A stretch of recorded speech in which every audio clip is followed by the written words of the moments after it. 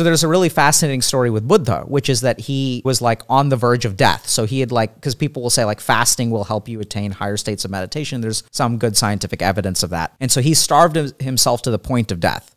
And so he was like stick thin. And a young girl walks by with like a pail of rice pudding. And she sees that clearly there's like this, you know, monk or something who like really looks like he's in bad shape. His skin is gray. He's all skin and bones. And she's like, Do you want some rice pudding? And he's like thinking about it. And he's like, You know what? Yeah, I do. I've been on the brink of death. None of the shit is working. I've been studying. I've been trying to become enlightened for so long. It's all a scam. And he gets frustrated. He has the rice pudding. It's the most delicious thing he's tasted. And then he goes and he sits under the tree and he's like, it. I'm done with enlightenment. I'm done with meditation. And he just sits there and enjoys the rice pudding. And that's when he becomes enlightened. Yeah. So it's kind of bizarre, but even the desire for enlightenment is a desire that will keep you from enlightenment. Sure. And the last thing you have to give up is the desire for enlightenment. so it's kind of weird. Yeah.